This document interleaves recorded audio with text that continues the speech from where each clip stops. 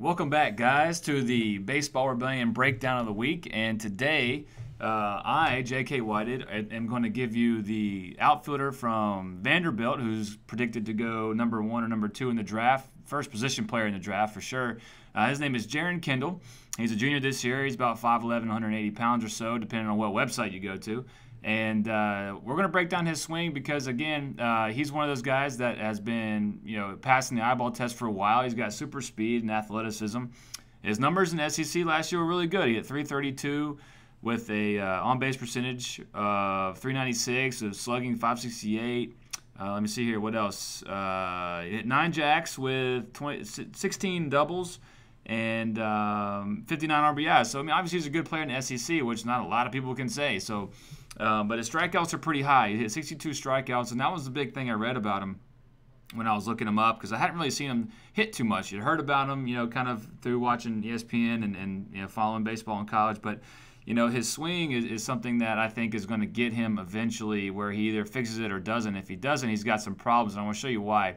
And this, I think, this is a big, big part of why he he strikes out or mishits a lot of balls. Um, not because he's he's not good, obviously, but because of some of how his upper body mechanics work, which I think come from a lot of coaching and, and him trying to do what his coaches want him to do.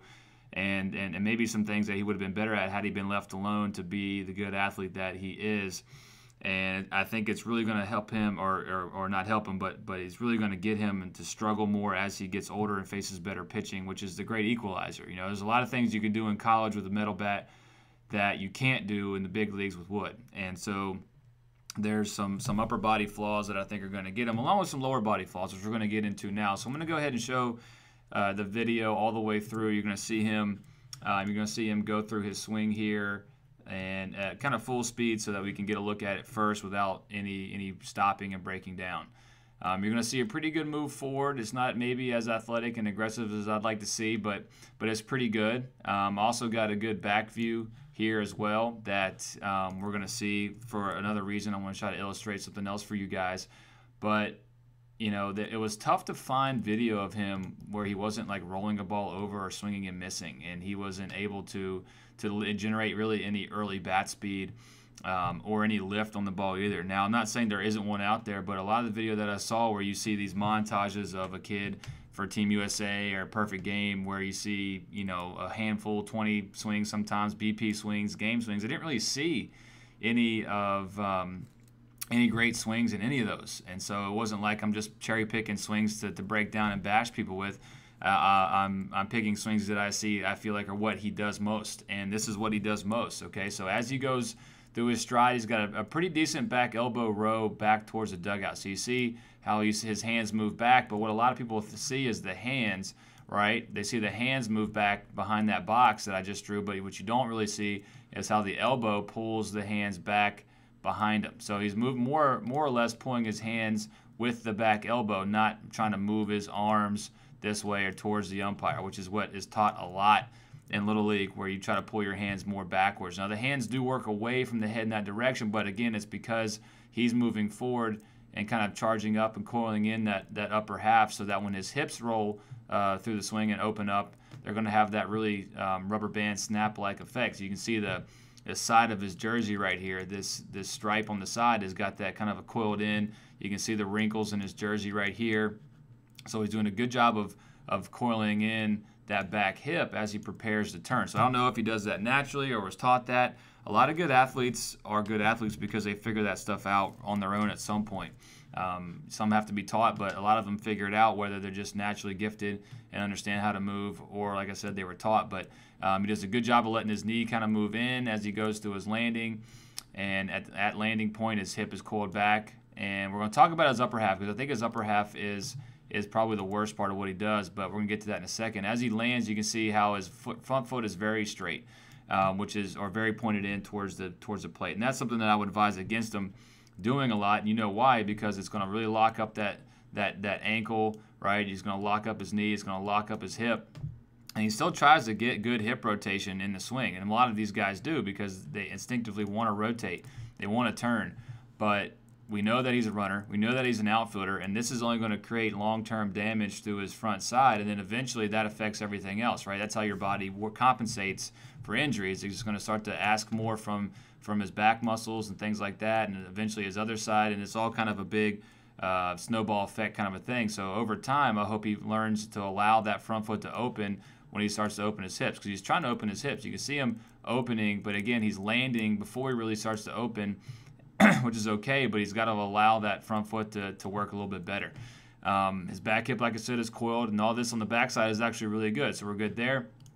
His head is, is pretty good over his backside. He's a little bit more over his backside than he is obviously over his front side, which is good. He could probably be a little bit better there, where maybe there's a slightly more of a head position over his back hip so that he can turn um, very quick, very, um, very abruptly, very sharply towards the dugout here. You know, once we land as a hitter here on the front side, the the forward part is over, and we've talked about this as a company being better at this, and, and this is part of the reason why is we want to be sharper and cleaner and quicker this direction towards the dugout. He's a left he's a left-handed hitter, so he's trying to go towards the first base dugout. And then once we do that, obviously that's going to pull around our shoulders and hopefully pull our shoulders. And then if we allow our hands and the bat to do the right thing, you know, down back here in a, in a windmill shape, and that barrel is going to get in from behind the ball very deep, meaning close to the catcher's mitt. You can see the catcher's mitt right here. So the deeper the barrel can get, um, as and stay relative to the body with the knob uh, being very close to the shoulder, then we're going to be in a good place to, to hit a lot of balls more cleaner. And that's what we're talking about for him. Like there's power potential in him, just like there's power potential in everybody, but the cleanliness of how his upper body works in conjunction with his lower body is, is what separates the men from the boys, um, to say. So, what you're going to see is a really aggressive um, knob pull slash back arm push to this ball. And then on top of that, a really aggressive top hand rollover through the ball. So let's go ahead and get started. So as he goes to turn, you're going to see this really aggressive, you know, pull the knob. So you can see how his back shoulder moves very little, and his and his hands catch up to his shoulder right here, which is a little bit um, of, of, a tail that he's really aggressively pulling that that front side, and then really from then taking over with that back arm. So it looks like he's done some some bottom hand, top hand drills where he's really aggressively using his arms and his hands to generate bat speed. But the problem is, is he doesn't. The bat stays. His first move of his bat is is not down back behind his shoulder like you see all the really good hitters. And you know we've done we've downloaded and and and and broke down a lot of those guys for you. So you're going to see that bat work behind their shoulders, but you don't see that. Where do you see his bat go? His bat's going to work more towards the ball aggressively. Now you see his barrel go through those arrows. But the problem is, is it's more flat through his shoulder instead of back down and around towards his numbers on his back.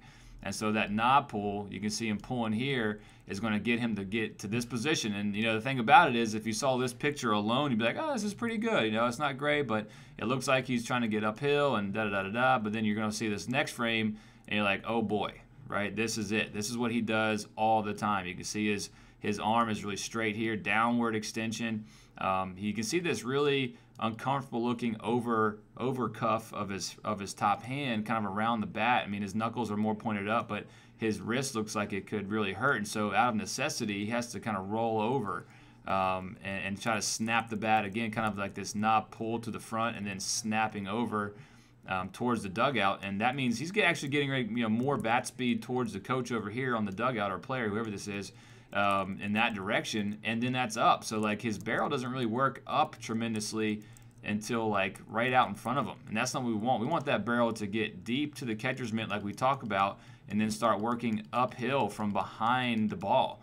Uh, very Griffey-like in the Nike check. Uh, you can see this Nike check pattern that we see, and you can see his bat go from above his head, you know, from there, boom, right to this point here. Like he skips all those other arrows, and so he can't generate any bat speed until out in front of him, and that is what's going to get him. If he does not figure that part out, because no big leaguer has no great big league hitter, I should say, and they're all really good. Obviously, they wouldn't be there, but you know, no no player that's that's out there in the game for a long time makes this type of move with his upper body. He just does. He's just they're just not doing it. Now, it's one thing if maybe he's trying to get open on an inside pitch and it's freaking him out, and he has to kind of you know, maybe get the barrel to it or foul it off with two strikes. But that's just not what's happening here because I saw, like I said, a lot of his videos. And this back view is going to demonstrate it as well. You're going to see the same lower half, landing closed, All right, pretty decent hip rotation and trying to create some torque, but again, he pulls his knob away from his shoulder here. I mean, you can see his back shoulder is over here somewhere, right? You can see it right there, and then you can see his hands and his knobs below his belt and out in front of his belt, and they just shouldn't be there. They should be back here coupled with his back shoulder and elbow as they turn together, and then you'll start to see that release. But again, you can see everything out in front here, um, pushing and turning his hands over. This is one ball that I saw him actually elevate um, and and and they elevated it foul because again, when you turn your hands over out in front, you can see the bat's almost facing the camera at this point, and he, he pulls it foul. And this is really the only way to generate any lift with this type of swing. So the home runs they did hit, I would really like to see. I bet they were mostly pull side and down the line. Like it's tough for him to probably drive balls to center or left field because his hands don't turn over until way out in front of him, and that's not where we want to create barrel snap. We want to create barrel snap back this direction, right? Back this direction down through uh, the catcher's mitt and, and behind his body. Again, this is only a two-dimensional drawing, so I can't show you the bat coming more down kind of back here behind his elbow, but you don't see it because he doesn't do it. He pulls the knob uh, away from his shoulder right here. And you can see that go from, you know, okay, well, everything's pretty close to his shoulder to, uh-oh,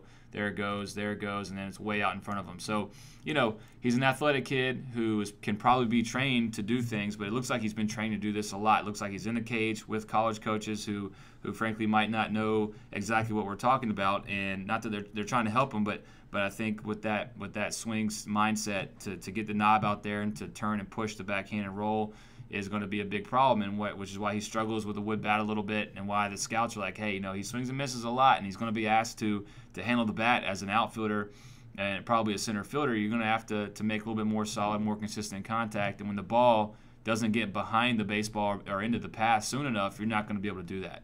So there you go. There's there's his swing, and there's where I think his big flaws are. I would give him maybe a B with the lower half to B plus and then, and then you know a pretty pretty bad grade, uh, probably a D, uh, and, and, maybe even an F, maybe for a kid at, at this level uh, who's going to be a, a, first round pick uh, and get paid a lot. You know, he's going to get picked probably primarily off of his speed and his arm strength, which is fine. Those play, you know, those play at the highest levels too, but but it's really not going to be something that lasts. I don't think because he's just going to be so hard for him to hit.